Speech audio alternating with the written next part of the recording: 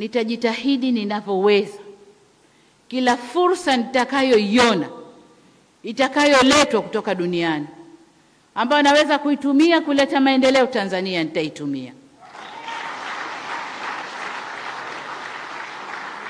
Na nafanya hivi, nafanya hivi kwamba niliapa kwa Mungu nitaitumikia Tanzania, wala sifanyi hivi kwa uchaguzi wa 2025.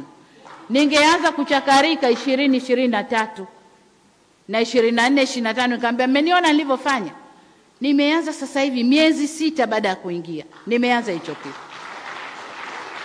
na 25 iko mbali. Kawaida ya mwananchi, kawaida ya binadamu, kawaida ya binadamu, mkaribishe sasa hivi kula, kisha mnawishe mkono, ukikauka kesha sahau. Hiyo ndio kawaida ya mwana, mwanadamu.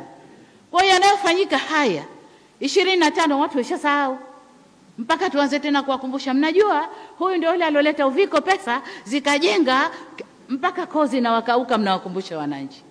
Kwa hiyo sifanyi kwa ajili ya ishirini ishirini na tano nafanya, nimeapa kuleta maendeleo kwa Watanzania.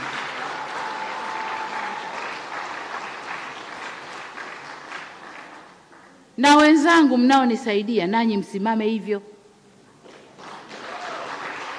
Baadhi yenu hamko hivyo, baadhi yenu mmeshajitia kwenye makundi huko, hamsemi,